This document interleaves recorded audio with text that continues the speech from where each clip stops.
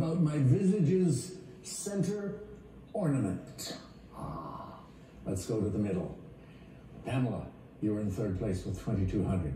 What did you write down? Zorro. No, not good enough. It'll cost you. 21.95. You're left with $5. Over to your left now, Teja. You had 7,000 and you wrote down who is Laertes. Nope, that's not going to do it.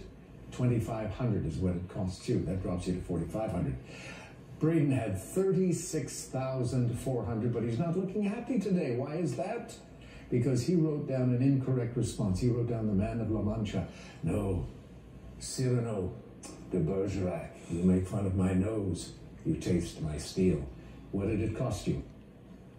8,600, a big wager today, dropping you down to 27,800 and giving you a three-day total of 93,800. Will you make it over the $100,000 mark? You'll have to tune us in tomorrow to find out if we wrap up the week. See you then.